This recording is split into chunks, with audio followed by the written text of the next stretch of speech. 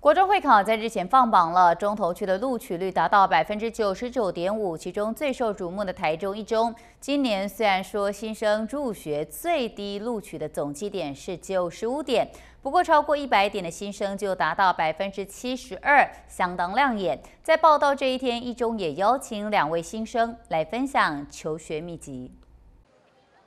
校门口挤满着人，这些全都是要前来报道的新生。国中会考日前放榜，中投区的录取率百分之九十九点五，其中台中一中新生入学更是表现亮眼，超过总基点一百点的新生达到了百分之七十二。今年的新生录取分数是基点九十五点，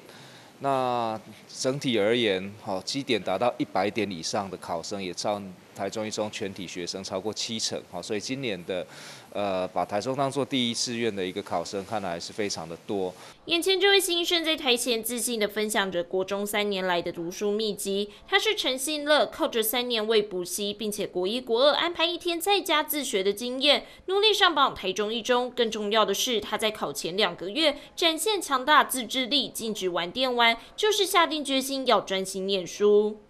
的好朋友他考得非常好，就是可能他考全校第一，然后。我可能在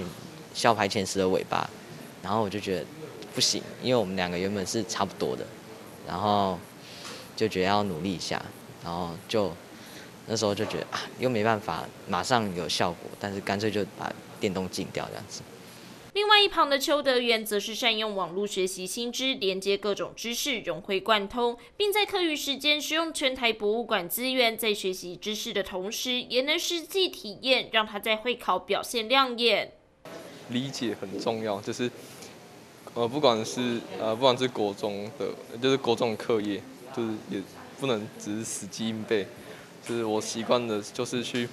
理解我所学到的东西。那呃，就是理解，我觉得理解才是真正的吸收，把知识变成智慧。随着新生报道，台中一中也指出，为了让新生能适性学习、试探兴趣，三年的课程也将安排与外县市的大学合作，让学生能及早找寻到升学方向。那我们都跟呃邻近的大学，例如中国医药大学、中山医学大学、中心大学等等，有相当密切的一个合作。另外呢，我们也从呃新竹的国立阳明交通大学，以及在林口的长庚大学，甚至到台北的台北医学大学，都有教授到台中一中来开设课程。会考落幕，高中新生期待着未来，继续探索学习，朝向自己的目标迈进。